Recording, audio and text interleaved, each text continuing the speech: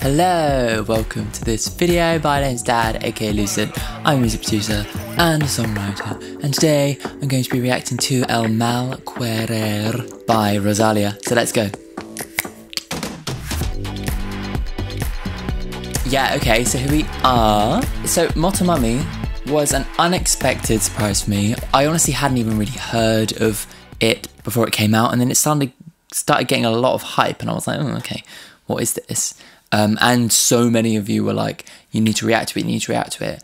And then, like, I did it, I loved the album, and that video was blown up, has kind of been a really unexpected surprise success for the channel, which is so lovely. So, thank you to everyone who watched it. But of course, on that video, um, so many of you were like, if you like her flamenco stuff, then you need to listen to El Mal Querer because Motomami was like a more experimental album for her. So that's what I'm doing. I'm going back and discovering it. I'm sure a lot of people who have got into Motomami are going to be doing the same thing. So uh, yeah, so if you're discovering this album with me, then uh, let's go.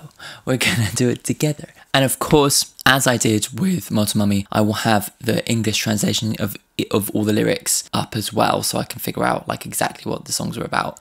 Because um, that's my thing.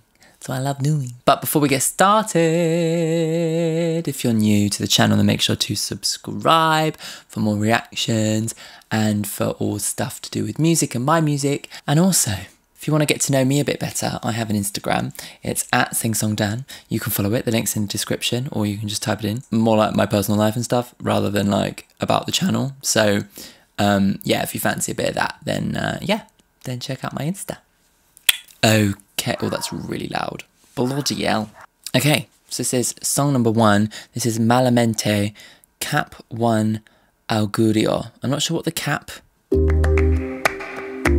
hmm. I love the claps, they kind of sound really raw, kind of like they're very much recorded in the room, they're not sampled, are they? I love the movement that it creates, it's really cool. Nice.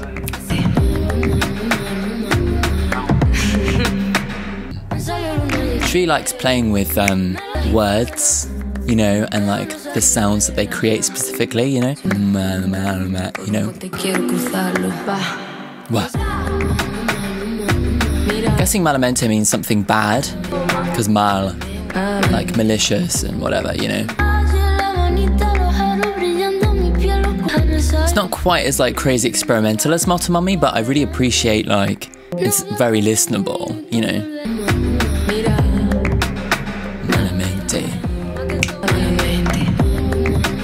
Absolutely love the drum production, every layer of it.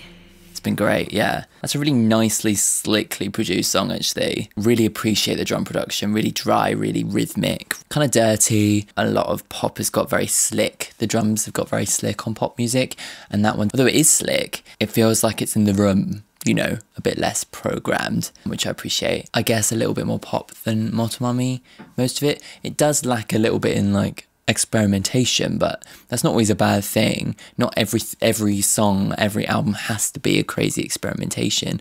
I appreciate experimentation when it's there, but sometimes you want to listen to something that's more listenable, you know? And that song definitely is more of that, you know? Let's have a look at the lyrics in English. Malamente. That little broken glass, I felt how it creaked before it fell to the ground. I already knew it was breaking. Oh, badly. Yeah, yeah, yeah. Malamente is like badly. Mamal, mamal, mamal. Yeah so bad, so bad. Some of it's kind of spooky, like telling a story of like a ghost on the landing, somebody creeping around the house. Um, but there's a kind of a premonition vibe of it as well, isn't there? Like before it fell to the ground, I already knew it was breaking. Um, so maybe it's like of uh, like some kind of relationship breaking down. Yeah, it was all very spooky. Yeah, the gypsy told me that better not go out to see her. It's all about kind of premonitions, bad for the soul, it's bad for the spirit. Like maybe she's just like fearful of like leaving the house and this is like her trying to will herself to not be afraid of the dark in a way. I'm not 100% sure. Yeah, interesting. Cool. Okay, let's go on to the next song. This is Que no salga la luna. Cap 2, Boda. Oh, oh yeah. Oh yeah, we're going to the flamenco here, aren't we? Yeah. Ooh.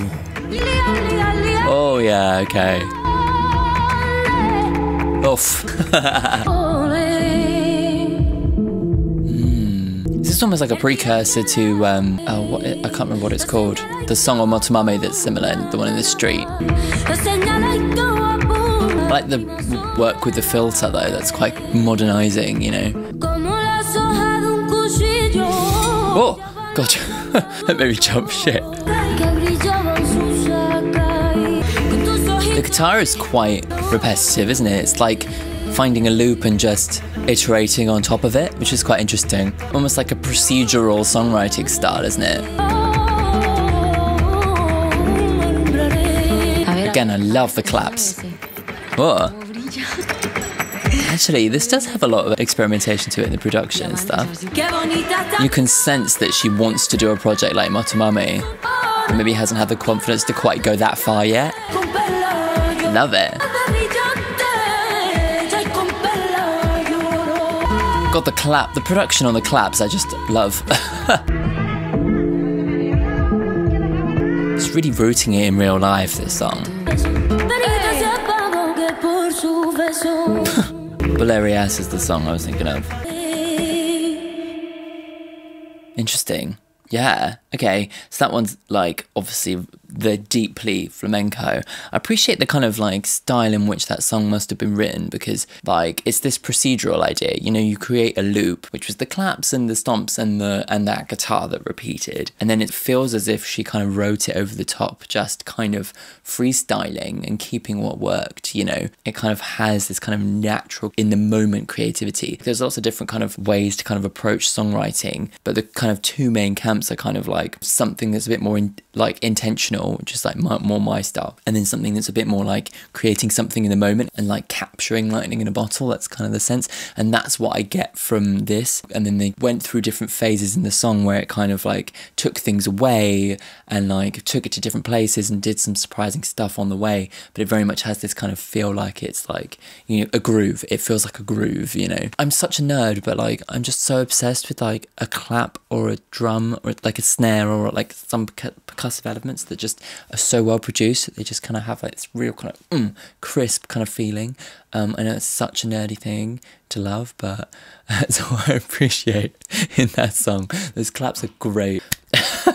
I'm literally such a nerd. Anyway, let's have a look at the lyrics. Oh yeah, actually, before I do, El Mal, the bad desire. Okay, cool. Now I know. Que no salga la luna. Don't let the, the moon rise. How lucky I was the day I found her. I was at the point of a blade, perfectly against the wall. It's almost like she's being like pushed up against the wall, as being threatened with a knife. Like the blade of a knife, her eyes shone when I gave her the ring. Gay. if there's anyone who objects, may they not raise their voice. Yes, yeah, she's singing from the perspective of someone who's marrying a bride and like, you know, picking out the ring. People shouldn't question our love. Yeah, it's a bit gay. Though I, I'm pretty sure I googled Rosalia's sexuality and it came up as straight, but it's certainly a queer coded, isn't it? In the way that she's taken on this role of somebody who's, you know, I'm marrying a female. Yeah, it's all kind of sounds like it's at the wedding. Yeah, she's kind of like telling a real kind of full story. I love like how in the context of like the style of the song is really cool because it kind of sounds like there's a community vibe to it. There's tradition, you know, and all those things are very much like intrinsic with weddings and marriage. So that all kind of fits together, which I really like. So let's go on to the next song. This is Pienso en tu mira. Pienso en tu mira. Cap 3, Celos. Sonriendo la calle. I like this organ. Sounds like a maybe a Wurlitzer or something. Oh, nice. Really making me lean in. Again, sick drum production. Oh, I love the drum production. Oh, it's so. Mm. Again, some perfect clapping.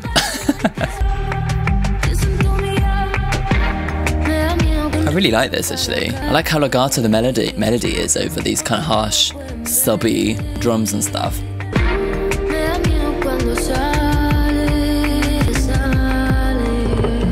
Oh, nice. Really just feeling the vibe of this one. Mm, mm, yeah. Sounds like she's saying, listen to Mira. The time signature is interesting here, isn't it? Is it in six? Four, five, six, five, 2. It's a 6. But it doesn't sound like a 6A. It more kind of sounds like bars of 4 and 2. Hmm. I loved that. Yeah. Pienso tu mira.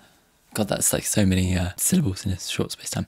Um, yeah, I really liked that actually. I feel like Motomami was like an album that pushed my boundaries. You know, really kind of was like making me uh, experience music that, you know, wasn't necessarily in my wheelhouse. And I learned to really actually really appreciate and love. Whereas this album kind of does feel like it just kind of more solidly sits closer to music that I already am interested in. Do you know what I mean? And that one, I really felt the groove of it. Let's have a look at the lyrics. Candy, candy, candy. And pienso en tu mira, pienso en tu mira. I think of your look. It frightens me when you leave, smiling to the street because everyone can see the dimples that appear. Ooh, maybe not trusting somebody, maybe being worried that they're gonna leave her, and of the sky and the moon for wanting to look at them. It's like describing somebody, maybe a lover, and their beauty and their intensity of their gaze, you know, the, you know, all the things that she found really attractive and kind of thinking, you know, is this person, you know, what's to stop them from, you know, somebody else falling for them? You know, it's like there's an anxiety, isn't there? And like the dimples, it's like a very specific thing that she obviously really loves about this person. When you go through the door, I think you'll never come back. And if I don't hold you tight, I'll feel it will be my fault. Wow. Oh, I love that lyric. That is like really well put and really describes an anxiety that I think we've all kind of felt at one point, you know. Fear of abandonment is um, a really relatable feeling, especially when you've kind of been put through the ringer in like past relationships. And it can be difficult to trust somebody. And that's kind of like what she's articulating so beautifully in some of those lines. Like like i fear when you go through the door you won't come back and it will be my fault because i didn't hold on too tight. Really like articulating a, a, a fear and anxiety in such a specific way that I think is like the magic of like songwriting is being able to kind of describe something very specific to you and have it be incredibly relatable to so many people.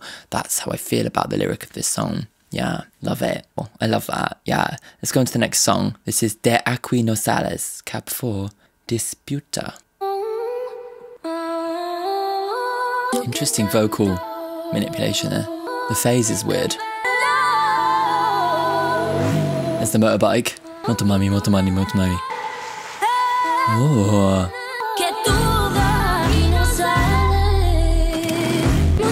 This is so cool.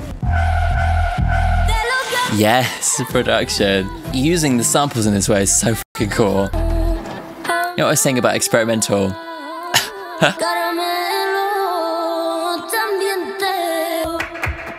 nice, nice, nice, nice. Whoa, this is so sick.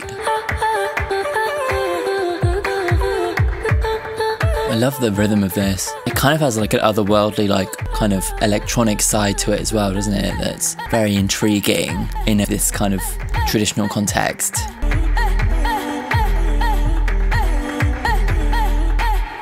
Mm. Yeah, mm, yeah, that was fab. I really thought that was just fucking cool. Like I just loved that segment all with like the building up of the kind of car motorbike samples to kind of create this like super rhythmic, interesting, semi-musical collage of sound that kind of got a bit more traditional but still had this kind of element of like otherworldly production, electronic vibes amazing. Such a cool merging of the two worlds. I think that was something that I really spoke about a lot in Motomami was this idea that she was, you know, taking something traditional and then like really turning on its head. And that song really did have that feeling because it had the flamenco stylings of the clap and the and the vocal stylings and everything but the production was just totally totally different yeah and it's like it feels here that she's kind of testing the waters a little bit like that song is particularly successful but like i do think that like so far in the album it's almost like laying the groundwork for what motomami was going to then go on and do, you know? Yeah. Yeah. Let's have a look at the lyrics. If they're about driving, then that would be fun. Ooh.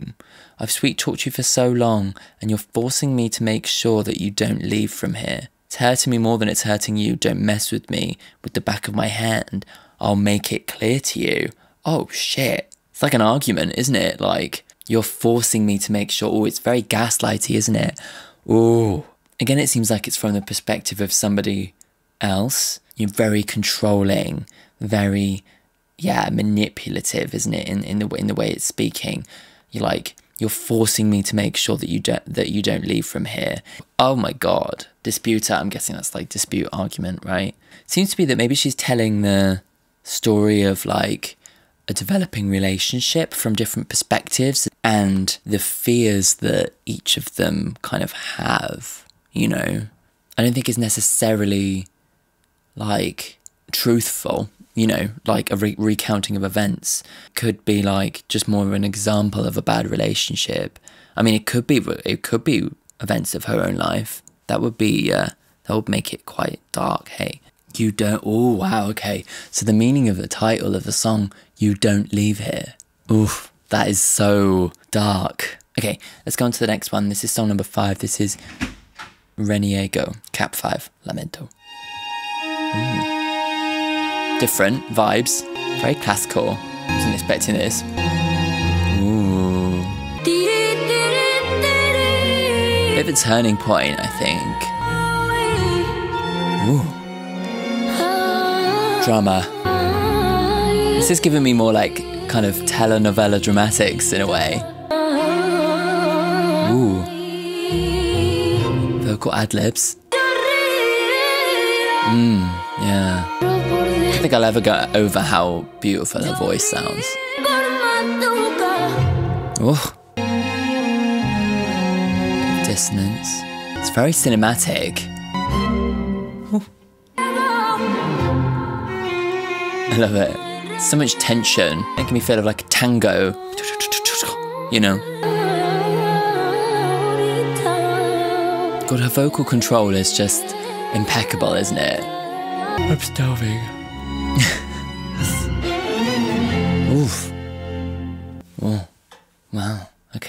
Not a song I was really ex- expecting. It really had like a sense of drama to it, didn't it? Almost like the kind of events of this kind of album so far got to a very like got to like a kind of breaking point for this character and she's very much like I am broken. You know, it's giving me that sense, but in a much more kind of dramatic way than I was expecting. You know, yeah, very cool. Reniego. I renounce. Okay, so maybe she's yeah letting go of the relationship. She's like, no, I'm renouncing this love I'm getting. I'm letting go. Let's have a look at the lyrics. I laugh on the outside and I cry on the inside. For more little pities of this sorrow of mine, remedy I do not find. I laugh on the outside and I cry on the inside. I resent the hour that I met you. Yeah, so she's like renouncing this person that she's been with, which is probably good because it all sounded very abusive in the pre in the previous song. Yeah, this idea of laughing on the outside and crying on the inside is a very relatable feeling, isn't it? Like, you know, you're kind of like trying to stay strong, you're kind of trying to kind of carry on. Maybe you're a bit delirious and but on the inside you're like you you you're hurting you know i like the kind of exploration of like what is going on within versus what's like being outwardly projected i think is very cool confidently renouncing the love is you know on the outside is different to on the inside where you're like lamenting it you know you're you're you're sad that it's over you know complex okay let's do the next one this is preso clausura which is only 40 seconds so i'm guessing it's a kind of an interval type thing let's go ooh Ooh, love it. I love. Oh god, that isn't that so well played. Por amor. Bueno, hasta bajé el infierno. Who's that? No me arrepiento de haber bajado, pero bajar bajé. ¿eh? God, I find Spanish so sexy. Te das cuenta cuando sales. Piensas, ¿cómo he llegado hasta aquí? Interesting. Seems to be posing a question, doesn't it, in the center of the album? Maybe questioning your choices or maybe questioning where do I go from here? Considering the previous song was like renouncing love, maybe that, maybe the question that she's posing herself, or he is, or whoever it is, is posing, is, you know, what do I do from here? Let's look at the lyrics. Oh yeah, what does preso actually mean? Prisoner. Prisoner. Prisoner. Prisoner of what? Hmm, Let's have a look at the lyrics, and then I'll know. Rossy de Palma. Not sure who that is. Well, I, for love, oh, well, I went down to hell. Although, since I went up with two angels, it hurts, it hurts. Then I don't regret having gone down, but going down I did, going down I did. It catches you without realizing. You realize when you go out and you think, how did I end up here? Seems like this person is getting, like, talking about how they got carried away with love. They got carried away in this relationship and they became a person that they didn't think they were, you know? Maybe it's like from the perspective of like the boyfriend, you know, the guy who, you know, was potentially the man in this kind of abusive partnership, maybe thinking, how did I become this person? I wonder who the two angels are referring to. Okay, let's go on to the next song. This is number seven. This is Baghdad, Cap 7 Liturgia. Presumably it's about Baghdad, and that isn't doesn't mean something else. I found out from him. okay, so we've got a Spanish cover of Cry Me River. Interpolation, I guess, is probably the more the word, isn't it? I was not expecting that at all. I like the marching in the production here. Mmm, nice. Wonder how it relates to Cry Me a River. Maybe she's like flipping perspectives or something. That would be quite interesting. The style has changed quite a lot now, hasn't it? After these kind of interval songs. Very weird. There's a lot of different kind of like emotional references going on. Like there's kind of dissonance and like this kind of warm organ, but also like a marching and also kind of a frivolous kind of choiry thing. A mishmash of different ideas, which is quite cool. A patchwork. And then there's like this Justin Timberlake reference.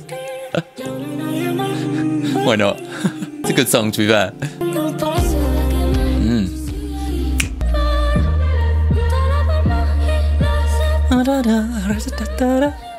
It's so weird. Reminded me of another song. Can't remember what it is. Interesting. It's almost like moving into like a major key then at that point, isn't it? Strange song. I liked it. I, I'm not sure if it all came together, but I liked it. like maybe one too many ideas going on, but I appreciate the experimentation there. Yeah, it's interesting how there is experimentation, but doesn't quite come together as kind of confidently as as it does in Motomami. Maybe I don't know. Um, development of an artist, really, isn't it? But uh, let's have a look at the lyrics. I wonder why it's called Baghdad. And she's going to burn if she stays there. The flames rise up to heaven to die. There's no one else around there, no one else sitting and clapping, and she's going to burn if she stays there.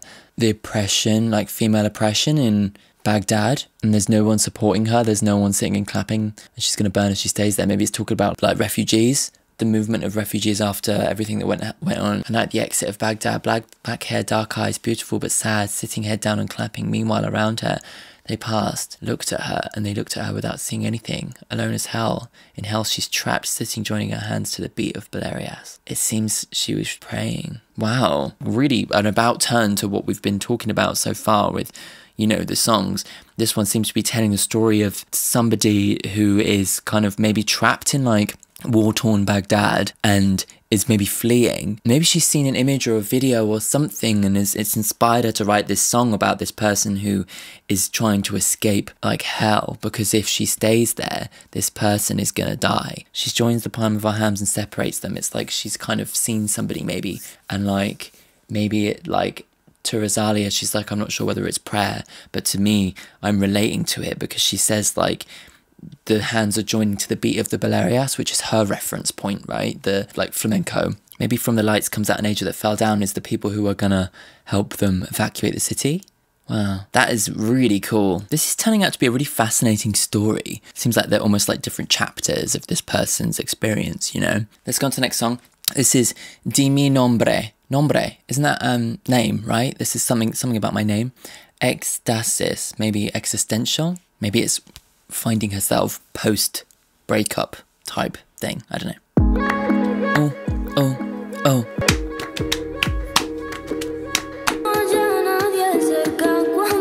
like the rhythm of it. Rhythm of it. Again, claps. mm, mm, yeah.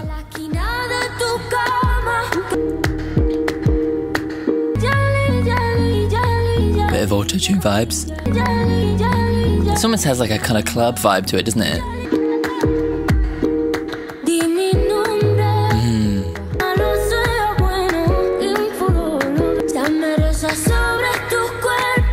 Hmm. Love it. Love the vocal stuff. Maybe it's kind of like a say my name situation, like fighting for who she is. That kind of refrain almost has like a Middle Eastern feel to it, doesn't it? Especially like after the song called Baghdad, you know.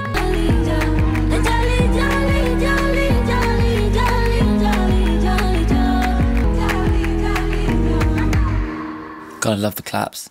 Such a nerd. Okay, um, Di mi nombre. I really like the vibe of that one. It really kind of like caught me up. Really like I just wanted to kind of sit and vibe with it. I guess vibe is the good word, isn't it? Interesting musical reference there as well. Like kind of sounded almost like a kind of like a kind of Middle Eastern club vibe, you know, which wasn't expecting. Um, let's have a look at the lyrics for it. Okay, what does Di mi nombre mean? Di mi nombre Oh, it does mean say my name. Oh my god, guys, I'm doing it again. Everyone's gonna be like, you actually speak Spanish, don't you? No, I just got the vibe, okay? Say my name, say my name. When no one is around you, say, baby, I love you. Oh my god, of course. I love that that aligned with me looking at, like, I started singing and then started looking at the lyrics and was like, oh, it's what I'm literally singing.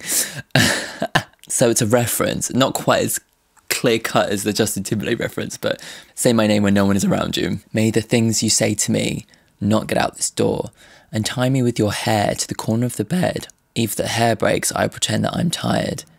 I want to be, it's like I want to be captive. I guess it's like it is about sex. Say my name, put your body against mine. It's like the kind of power that that, that, that you have in name, you know and she's kind of saying, Yeah, I'm not sure like what perspective we're in here. But it's like there's an intimacy, isn't there? There's there's it's it's about like intimacy and sex and being like in the last moment right before, you know, orgasm, say my name to my face. It's like there's a lot of power in that, you know.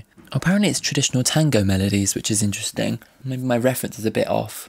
Or maybe it's like similar scales to my Middle Eastern stuff. I'm not sure. Interesting. Okay, let's go on to song number nine. This is Nana which is presumably about our grandmother, who featured in Motomami, which was nice. Conception. Or maybe it's about like family, you know, family lineage. Or the rain. Mmm. En la puerta del cielo. Ooh, beautiful. Sounds like really sad. this is the genesis of the album, isn't it? Can hear like, the blowing on the microphone as she sings. Wow. So intimately recorded, you know. Ooh. I love the kind of really gentle rain in the background. It's not obvious, but really atmospheric.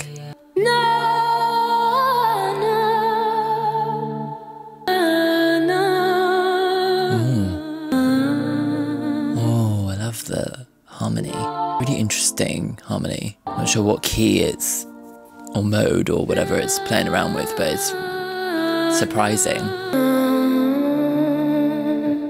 Yeah.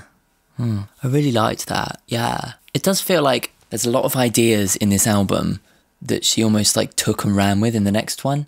Like that one very much had a lot of similar vibes to what GE what is it, GN13 or whatever it is, which I think she kind of actually really perfected with the GN13 because actually it's like takes those ideas and really like nails it completely. But there is there was a real intimacy and a real sadness and a real melancholy in that song that she so beautifully beautifully voices you know um even without knowing what the lyrics mean. And yeah like yeah to me it sounds like she's you know saying goodbye to somebody. I might be completely wrong Oh, it means lullaby. I am completely wrong. At Heaven's Door, they sell shoes to little angels that are barefoot.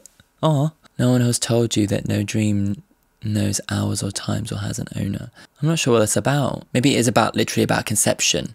Oh, very beautiful. Anyway, yeah, lullaby. Maybe she's singing to a child. Maybe she's singing about a child. Maybe she's singing more generally about children. Beautiful. I like that. Yeah. Let's go on to the penultimate song. This is song number 10. This is Le Maldición. Maldición, maybe. Captain Cordura. Mm. Sounds like a harpsichord or something, like a synthy harpsichord. It's very gothic.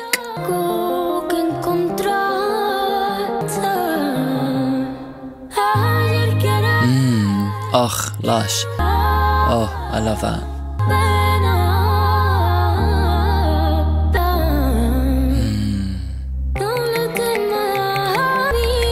Nicely produced again. This one's very kind of tumultuous feeling, isn't it? It doesn't sound very rested, foreboding. Is that Smash Bros? That sounds like it's sampled from Super Smash Bros. Melee, I'm just saying. What the fuck?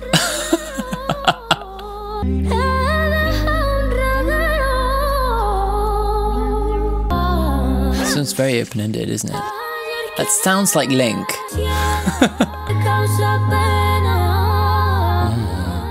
Beautiful.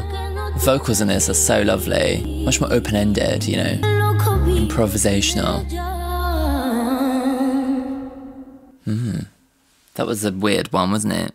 I thought it was beautiful though. The vocals and the melodies in that were stunning, really. And I loved the harmonies and I loved all the vocal production on it. Like there were moments where like it was very much like in your ear. You, do you know what I mean? Like, but then like it was very much like lulling me into a false sense of security with this all this kind of ballad vibe, and then like cut to this like video video game sample, which to me, I'm hoping I got. If I got this sample right, that would be like naming it. But and also show my obsession with video games. Very interesting thing. Like maybe it was almost like a like maybe it represents a distraction. Maybe maybe she's trying to connect with someone and they're just playing video games. Do you know what I mean? Like that kind of thing. I don't know really, but yeah, let's, let's have a look at the lyrics. Maldition, maldis, maldition. Damn. It literally just means damn. To be damned or I don't know. Cordura. Let's see what cordura means. Sanity. Huh. Realizations, maybe? Uh, let's have a look at the lyrics. Through the street I'm going, they told me there's no exit. I've got to find it, even if it costs my life or even if I have to kill. Oof. Maybe it's about finding yourself and kind of the lengths you'll be willing to go to to like discover yourself, you know, and like stick to your guns, you know. Loving in a moment, I would want to be insane and not love. Oh my god, my stomach, shut up. Literally sounds like my stomach is going, please feed me. it's so loud. Okay, I just need to make it through this the rest of this filming because I can have lunch. Loving in a moment, I would want to be insane and not love because loving causes sorrow, sorrow that has no end, and the insane live without it.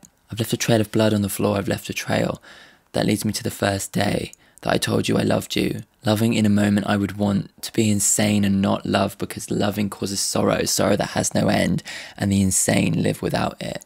So she's kind of like saying, I would rather be insane than to fall in love again because of the trail of blood and destruction and pain that it caused me. Which is kind of a sad realization to have, really, isn't it? But I think what she's taking from it is an independence. And in this moment, is kind of saying, "I'm never going to love again," you know. But yeah, the, the, I think the silver line, the positivity there is that is that she's going to find confidence in being on her own. Sanity, yeah because she's pondering insanity. She's saying, I would rather not be sane. I'd rather be insane because then I wouldn't have to love. I wouldn't have to go through all of this, you know? Really cool. Very dramatic.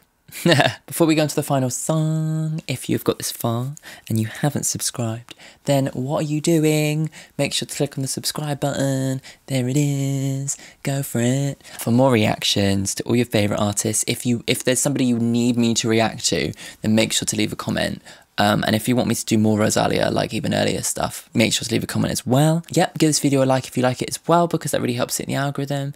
Um, check out my Patreon if you want to see this video uncut and you can actually watch my videos ahead of time. So yeah, let's go on to the last song. A ningun hombre. So hombre is man, right? So maybe she's singing about the guy that she's left behind. I don't know. Let's go. Song number 11.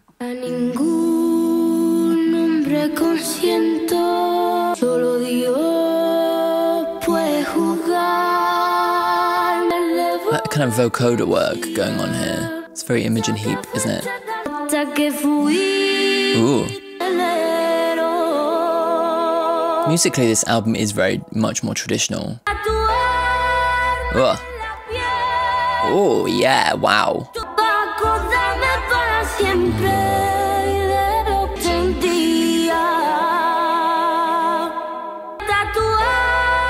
Oh. I love that. Oof, beautiful.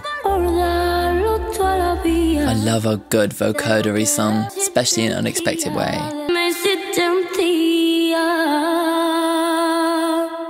That's the end. Huh. Oh. It just knows what song to play next, doesn't it? Non reconado. I don't even know what the lyrics are.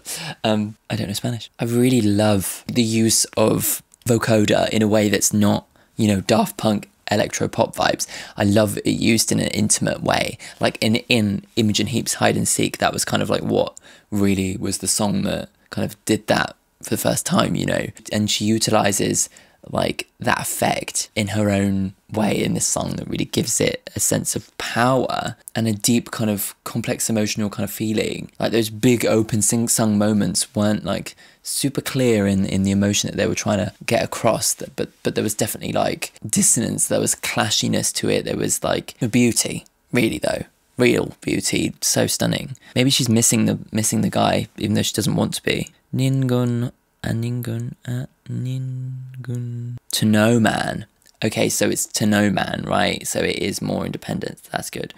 Um, I like that that is the vibe that she went for at the end of the album. Poder can, like, I can do this, I can carry on, I can be myself, I can be independent, maybe. I don't consent to any man, that he may dictate, dictate my sentence, only God can judge me. I was yours, companion, until you became my jailer. On my skin, I'm going to tattoo your initial because it's mine to remember to forever and remember all my life what you did to me one day. Oof, my God.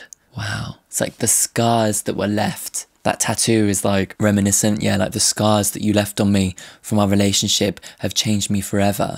But now i've learned to not consent to a man to not be controlled by a man. I only owe god my obedience not to any man.